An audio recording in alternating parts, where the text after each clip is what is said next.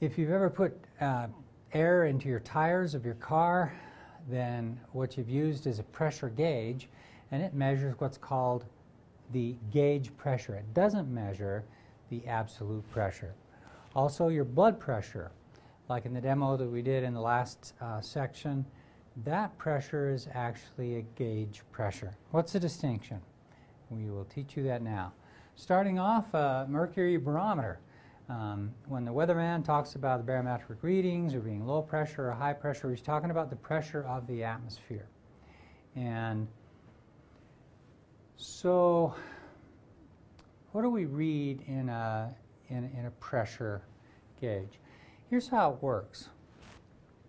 You take, take a test tube, just a glass tube with uh, a, a bottom, turn it upside down so the bottom's on the top. So this is the closed end and this is an open end down here. And then take all the air out of that column, uh, out of that glass tube, and put it down, put the open end down into a, into a liquid. Then what will happen, since there's no air up here, it's completely evacuated, that, that air will, will create a pressure, pressure difference that will bring water up into the column. And the height of the water in that column is an indication of the local atmospheric pressure. So this is P2 here. The atmosphere is out here. It's pushing down on this surface. And it's that pressure downward on every point in that surface that forces the fluid up into the glass tube. And the height of it determines um, uh, allows you to determine what the atmospheric pressure is. So up here, we've got uh, zero, um, zero pressure up there, except for a little bit of mercury vapor up there, which we can ignore in the calculation. The pressure up here is essentially zero because we've evacuated all the air from it. So we can simply apply this equation, P2 equals P1 plus rho GH, realize that P1 is zero, the pressure at the height, at the, at the point up here, that's zero. And then at the bottom, it, it's uh, whatever the pressure of the atmosphere is down here. So P2 is atmospheric pressure, that's rho GH. And the height, therefore, we can solve for by dividing both sides by rho G. So the height of that column, for one atmosphere of pressure, we put 1.01 times 10 to the fifth pascals. Uh, the density of mercury. One reason why we use mercury here is because mercury has a higher density than water does. And you don't need as uh, high of a column to get a barometer.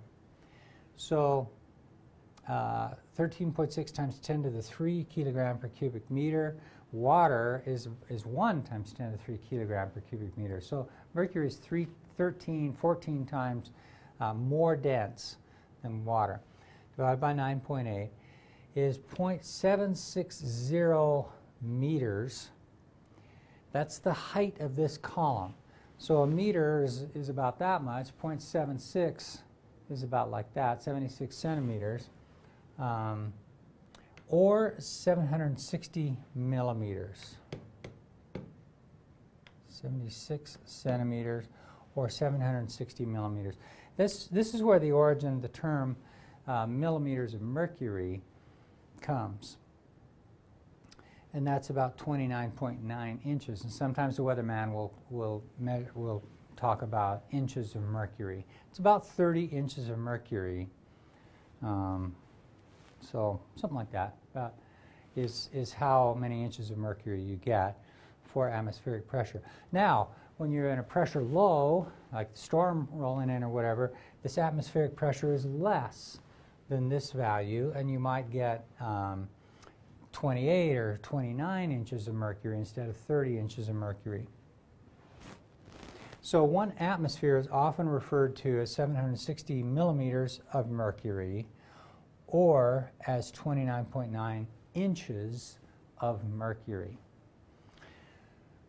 So if we were to replace this mercury barometer with a water barometer, we'd have to replace the density of the fluid uh, with the density of water, which is 1 times 10 to the 3.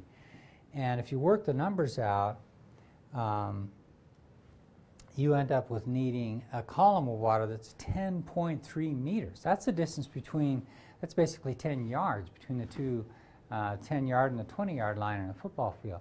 That's a pretty good size column of water. That's a long tube. Uh, so it's much more convenient to use mercury.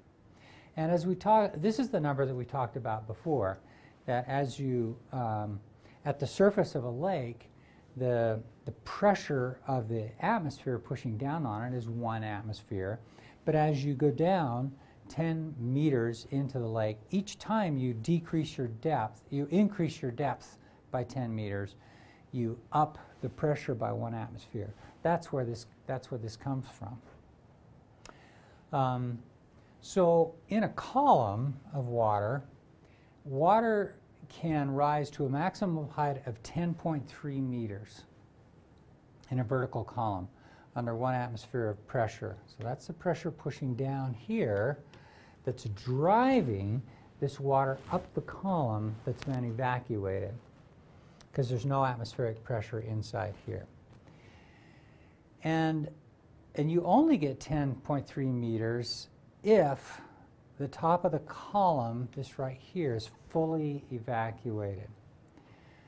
So if you want to try and um, suck your soda through a straw that's longer than 10.3 meters, no matter how strong your lungs are, you're not going to be able to pull that, that liquid through the straw because you can evacuate with your lungs, if you're really strong lungs, you evacuate all the air from the top of that straw, and it's still not enough to get the liquid up into your mouth. Conceptual example where do they put uh, well pumps? They put them at the bottom of the well. The short answer is yes. Uh, or the top of the well. The short answer is no. Why is that? If this well is, is deeper than 10.3 meters, which many wells are, then,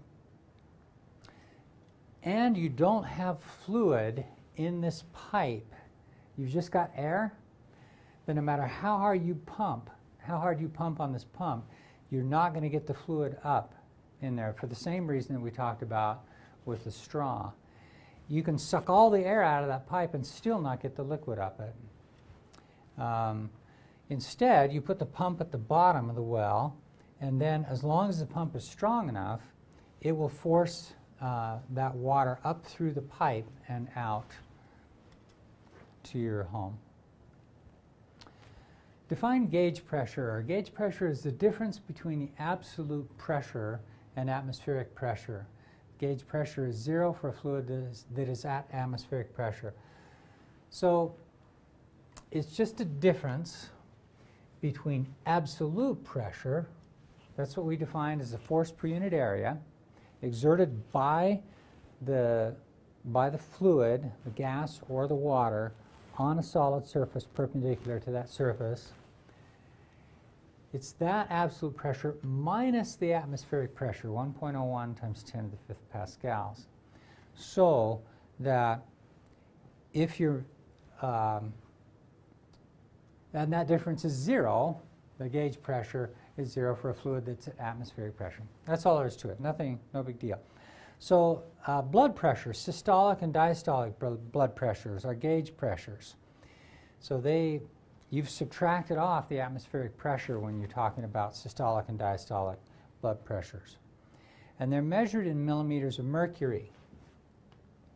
So you hardly ever hear, when you see these numbers, um, 120 over 80, which is a standard blood pressure, these are, this is 120 millimeters of mercury as a gauge pressure. That's how much this pressure is greater than atmospheric pressure. Well, atmospheric pressure is 760, well, here it is, 760 millimeters of mercury, and that um, systolic pressure is 120 millimeters. So instead of 760 millimeters, we've got 120 millimeters. It's maybe 10 or 15 percent of uh, atmospheric pressure. So the absolute pressure of the blood in your body is one atmosphere plus another 10 or 15 percent of an atmosphere. And again, also for 80, this is uh, um, millimeters of mercury. So you're using the metric system when you're measuring these uh, pressures, uh, blood pressures. So uh, an air, air in an automobile tire is, measured in pounds per square inch. Uh, and this is the gauge pressure. So typical gauge pressures of about 30 psi. They used to say 30 pounds all around for your automobile. I've been I'm hearing lately that a lot of times they're asking for 35 pounds in your automobile. How many atmospheres of pressure are there? Well, at 30 psi, the absolute pressure inside your tire is about triple the atmospheric pressure. How so? Well, 30 pounds per square inch, or psi, is about twice 14.7. 14.7 is about 15 psi, it's one atmosphere, times 2 is 2 atmospheres. But this measures a gauge pressure. It's the pressure minus the atmospheric pressure. So the absolute pressure inside of your tire is about 3 atmospheres, whereas the gauge pressure inside of your tire is about 2 atmospheres. So the open tube manometer is a, a, a, method, another method for measuring gas pressure. And the way that it's done is you have an, an open tube here that's open to the atmosphere. So the pressure in here is atmospheric pressure at the top of that column.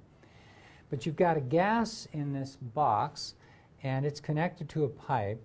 And so you've got another pressure in here that's greater than atmospheric pressure, and you're wanting to know what that pressure is.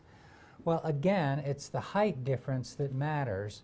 And P2 minus P1, like we've talked about before, P1 is one atmosphere.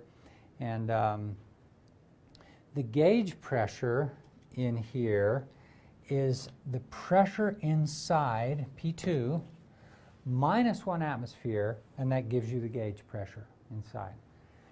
But if you want to know the absolute pressure, it's P2. And we can find that by adding one atmosphere of pressure to both sides of this second equation. We add it to the right side and we get P atmosphere plus rho GH. We add P atmosphere to the left side and the, and the P atmospheres cancel and we just get P2. So that would give you the absolute pressure. Again, absolute and gauge pressure are related by, um,